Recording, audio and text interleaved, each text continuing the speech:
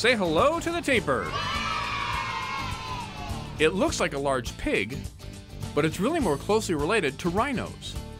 Like a rhino, each toe on the tapir's foot has its own separate hoof. Besides their special toes, tapirs have a special nose. Their nose and their top lip are combined into a flexible snout. The tapir can stretch its nose way out and wiggle it back and forth. What do you think the tapir uses that special snout for? This is Rachel. She has an amazing snout. It's not as long as an elephant's trunk, but it's just as handy. Watch how she uses her nose to eat these leaves. Tapirs live in forests, munching leaves from bushes and eating fruit that has fallen from trees. They can stand in one place, sniff around, then use their nose to move the food into their mouth. Rachel is a Baird's tapir from Mexico and Central America. She lives at the zoo with some capybara.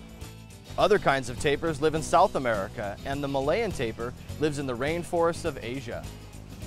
This Malayan tapir is with her baby. A baby tapir is called a calf. Some people say a tapir calf looks like a walking watermelon. Those markings help the calf blend in with the shadows in the forest, making it harder for predators like big cats to find it. What makes a good home for a tapir? A place to take shelter and a place to swim. Tapirs like to spend a lot of time in the water. Even youngsters can swim when they're just a few days old. Of course, it takes some practice to get good at it.